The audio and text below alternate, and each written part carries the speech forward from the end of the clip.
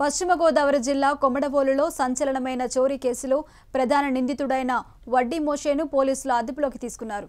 వారం రోజుల క్రితం స్థానికంగా జరిగిన దొంగతనం మోషే ఆధ్వర్యంలో జరిగినట్టు పోలీసుల విచారణలో స్పష్టమైంది. పాత నేరస్తుడిగా పోలీస్ డైరీలో ఉన్న ఇతను ఇటీవల జైలు నుంచి విడుదలైనట్టు పోలీసులు పేర్కొన్నారు.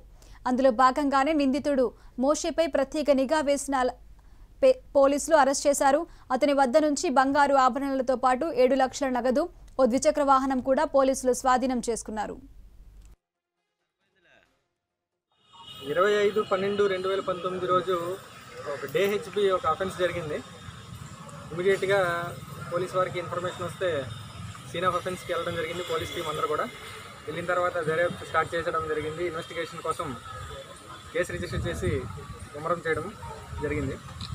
దానిలో భాగంగా ఇమీడియట్గా స్పెషల్ టీమ్స్ ఫామ్ చేసి వచ్చిన క్లూస్ మేరకు ఇన్వెస్టిగేషన్లో ముద్దాయిని పట్టుకొని అరెస్ట్ చేసి ఈరోజు రుజువు చేయడం జరుగుతుంది రిమాండ్కు ముద్దాయి పేరు వడ్డీ మోషే సన్ ఆఫ్ నాగేశ్వరరావు.